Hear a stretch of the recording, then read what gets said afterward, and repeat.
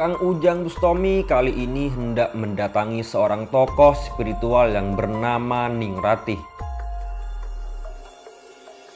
Berdasarkan informasi yang Kang Ujang Bustomi dapatkan, bahwasanya Ningratih ini adalah salah satu anggota senior dari Jablay-Jablay liar. Yang mana para Jablay ini rupanya memang bertujuan untuk merusak rumah tangga orang sehingga terjadilah percekcokan pada suatu pasangan suami istri dan berujung perceraian. Selain bertujuan merusak dan menghancurkan sebuah pernikahan, mereka juga mempunyai misi untuk menghabiskan seluruh harta korbannya itu. Baru kemudian ditinggalkan begitu saja.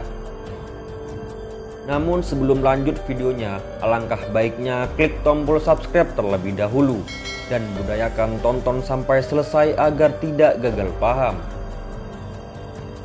Kegiatan para jablay ini sudah banyak memakan korban. Oleh karena itulah, Kang Ujang Bustomi berniat untuk membasmi dan bahkan melenyapkan aksi para jablay liar tersebut. Dengan cara Kang Ujang Bustomi berpura-pura ingin menjadi salah satu anggota komunitas tersebut dengan harapan Kang Ujang Bustomi bisa menemui langsung pemimpin atau guru para jablay tersebut. Karena pemimpin itu sangat sulit diketahui keberadaannya, hanya anggotanya sendiri yang bisa langsung menemuinya. Ningratih rupanya sedang melakukan ritual, sampai Kang Ujang Bustomi lama menunggunya. Lalu Kang Ujang Bustomi menyampaikan maksud dan tujuannya untuk bisa bergabung dengan komunitas tersebut. Kemudian Ningratih memimpin kepada Kang Ujang Bustomi untuk berpikir dan mempertimbangkan hal itu terlebih dahulu. Karena jika sudah terlanjur masuk, maka akan sulit untuk bisa keluar dari komunitas jablay-jablay liar. Sepertinya Ningratih ini mempunyai penyesalan atas apa yang sudah dia lakukan sebelumnya dan ketika dia hendak kembali, maka jalannya sudah tertutup. Seakan-akan dia tidak ingin kalau ada anggota baru yang bergabung dalam komunitas sesat tersebut. Ingrati pun akhirnya melakukan ritual kepada Kang Ujang Bustomi.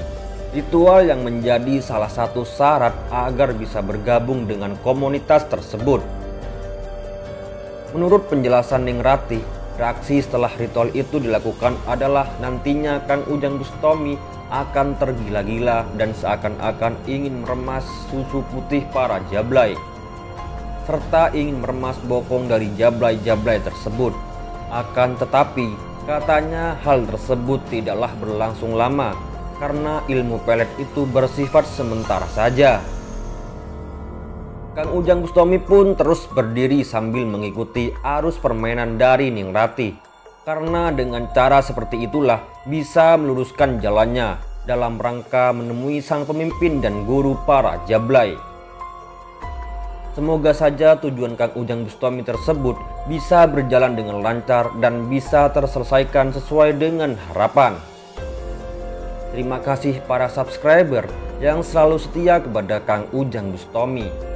Semoga kalian semua dilancarkan rezekinya, berkah hidupnya, dan semoga diberikan keselamatan di dunia dan di akhirat nanti.